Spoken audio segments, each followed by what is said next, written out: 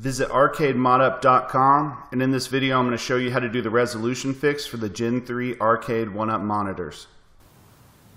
Okay, so you can see the very top of the screen there is cut off and then also at the bottom. We have the other video again going through um, all the monitor, all the Gen 3 monitors. This is how to fix the resolution um, so the monitor fits. So um, we're going to get this fixed up and I'll show you what it looks like. Okay, so this is a relatively quick fix. Um, you're going to need some kind of device to be able to get your micro SD card in your computer. I suggest just a little USB key. They're cheap. They work really well. Um, when you plug in your micro SD into your computer, it's going to ask you if you want to format because it's in Linux format.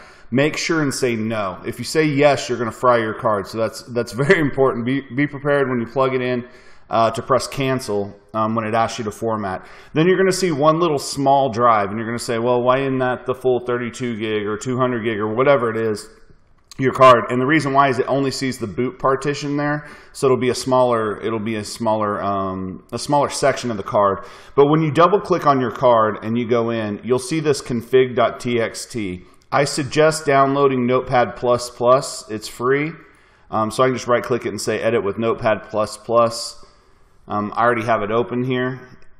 So what you're going to want to do is just right here at the top, make sure this disable overscan is uncommented, that there's not a pound sign in front of it, and just change that to zero. No spaces, no anything, change that to zero. And then what I did for mine is I took out the comments on these four overscans, and I changed this bottom one to 64. And then for me, I just changed the rest of these to zero.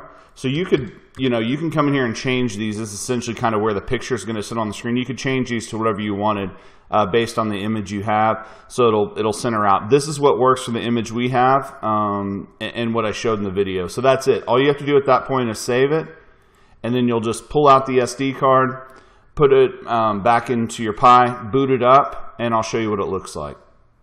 So there you go. Now you can see on boot, I now have all of my um, what my controls do at the bottom, so everything's filled up as I expected. Um, from what I gathered, uh, one one of the monitors for the arcade one up's like a 5-4 ratio, and the other one's probably like a 3-4 ratio. Uh, it's a difference, but that little fix you can see filled up the screen just fine. So, um, yeah, so Gen 3 monitors are good to go now. Visit arcademodup.com. Make sure and like the video.